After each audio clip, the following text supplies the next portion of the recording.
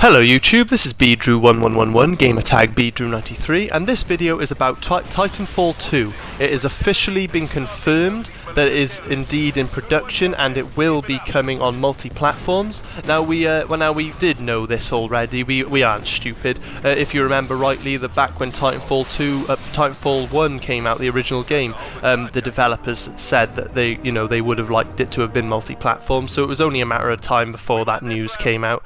But yeah, developers developer Respawn has confirmed that the broadly expected sequel um, it, to the sequel, its debut shooter, Titanfall, is currently in production. Um, um, I guess EA announced a sequel. This is a quote now. So I could have played coy and pretended that I didn't know anything about it, but yeah, we are making a sequel and we are working on a sequel as we speak. So yeah, it is official, guys. It is happening. Obviously, up until now, it's been speculation. It was going to happen. We knew it was going to happen, but now we know for certain. And this bit says there is no official name yet.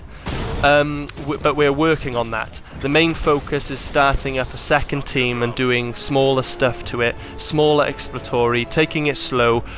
It'll be multi-platform. So at the moment, there's not a name. Like, we don't even know if it's going to be Titanfall 2. We don't know if it's going to be Titanfall with a little head in, like Halo Guardians, or if it's going to be a whole, have a whole new name altogether. But regardless, at the moment they're using the like you know the name in quotation to Titanfall 2 as that's what people will know it as and it is in the works and it will be multi-platform um, it means that the success successor to Titanfall will almost certainly ship on PlayStation 4, Xbox One, and it will be on PC.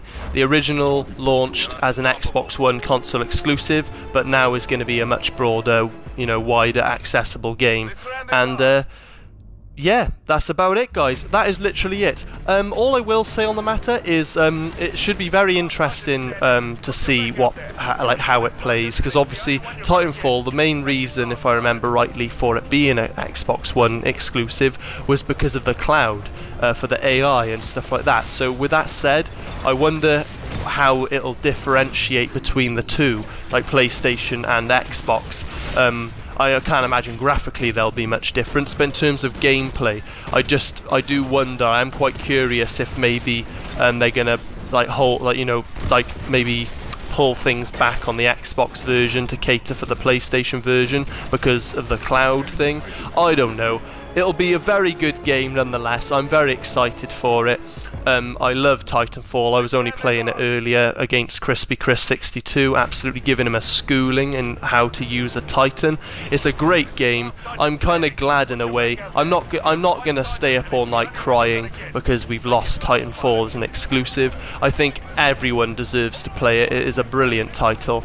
But um, another thing, all I will say, is for all you fanboys out there, PlayStation fanboys, who, you know, slated Titanfall, you know, from the start, the get-go, making out it was the worst game in the world. You know, now you're gonna, you know, it is. You know, end of the day, this is a bit of a slap in the face, and you couldn't be more any more hypocritical. You know, now that it is coming to your platform. But that's getting a bit petty. But enjoy the game. It's going to be great, and that's that's the news for it. It is coming, and it's multi-platform, and I can't wait for it. Thank you for listening, guys. Cheers. Bye bye.